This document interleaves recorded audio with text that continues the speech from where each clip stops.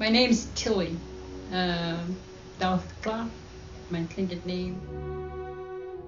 Get feinach jech su yuchat du asak. Yech ayachat. Kiksari. The film you will see is long overdue. This story is based on the lives of Very Reverend Father J. Michael Williams, Archpriest of the Russian Orthodox Church in America, Alaska Diocese, and his wife, Matushka Anna Emily Williams. The story about Father Michael and Matushka Emily is long and complex. It cannot be told only about Father Michael or just about Matushka Emily. Their lives became so intertwined with each other that it became virtually impossible to talk about one without including the other. Father Michael was the very first and the only man from the Tlingit tribe of southeast Alaska to ever become an ordained priest in the Russian Orthodox ministry. A gifted man, he was intelligent, artistic, musically talented, and creative. Matushka Emily was also intelligent and a gifted artist. She was a teacher who taught the Tlingit art form of beading and sewing. She spoke the Tlingit language fluently, and she proudly taught her language to young people. She taught Tlingit in the community schools and in public schools in the cities and towns where she and Father Michael resided. Most of all, she was a mother, a grandmother, a great and a great great grandmother.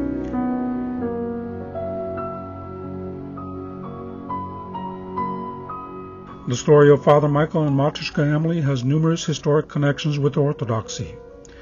It dates back to when the Orthodox faith was first brought to Alaska over 200 years ago when the Russians first came to this land.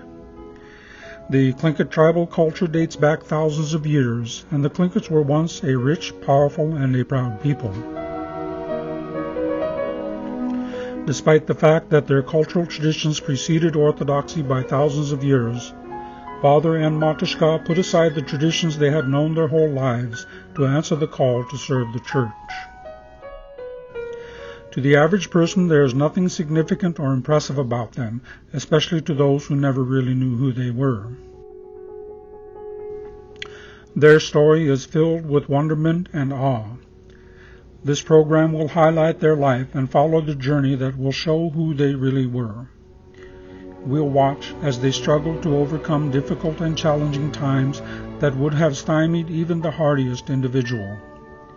We will grieve with them through numerous heartaches, tragedies, and loss that would have broken and crushed the average person. We'll laugh, cry, be angry or sad, but most of all, we will be amazed. For these two unassuming people to have accomplished what they did really is remarkable. What makes this story even more compelling is the fact that they were able to accomplish so much with so little.